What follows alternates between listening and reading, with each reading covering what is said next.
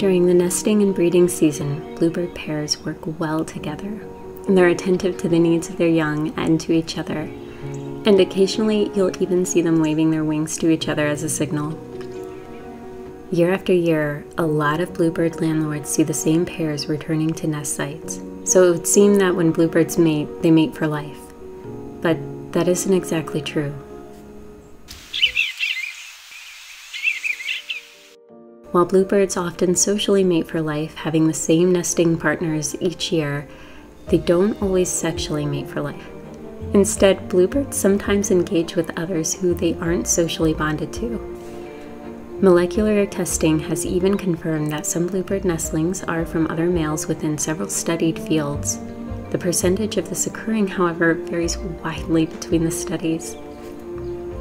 To give it a little perspective, in a given clutch or set of eggs within an egg laying period, out of say four eggs, sometimes one or more of the eggs is not from the bonded male but from another neighboring male, and these would be called extra pair eggs.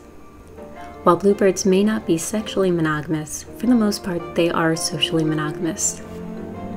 What that means is each year, usually the same pair bonds return together to nest again and both take care of all the nestlings equally despite some paternal issues. But there are times when socially bonded pairs break up. If that happens, usually the reason is an unsuccessful nesting event.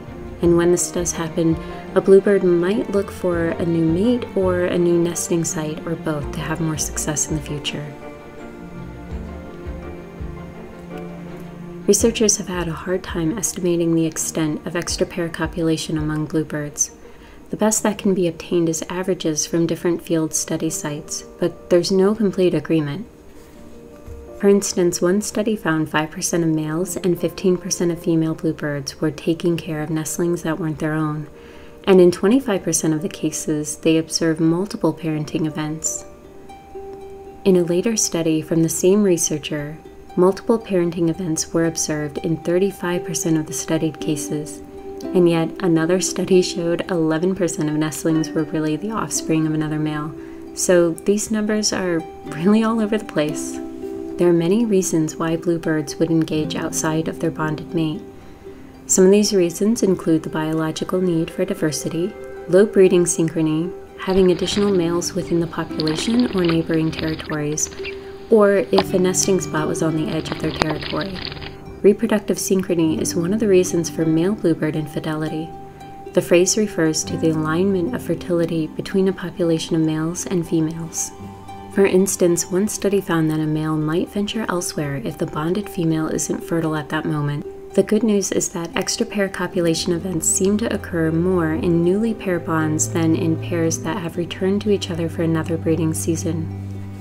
Bluebirds are not the only songbirds that mate socially. Many species of songbirds are classified as socially monogamous, where they share nesting sites and care for nestlings together year after year, but they're not necessarily sexually monogamous. So, when it comes to bluebirds, defining the word mate involves two factors social partnering and copulation partnering.